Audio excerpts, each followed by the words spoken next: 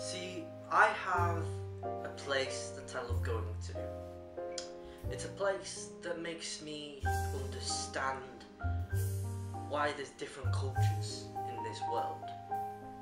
There's different types of shops, different types of clothing, there's different types of cameras for people to understand. And there's different types of heart inside them with what they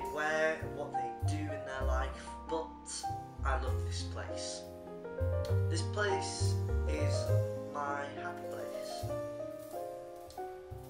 I go there most of the time when I go to Manchester because Manchester, the main central part, is pretty boring. Basically, you just go into the same shops, you're not going somewhere out of Manchester, you're just staying there instead of going somewhere different in Manchester. There's the northern quarter, there's Media City, and there's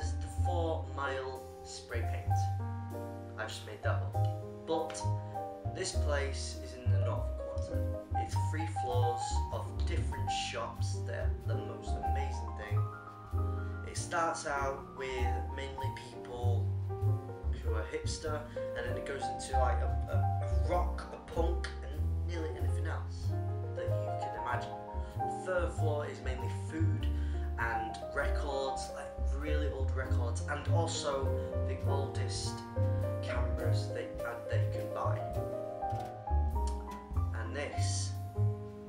place. This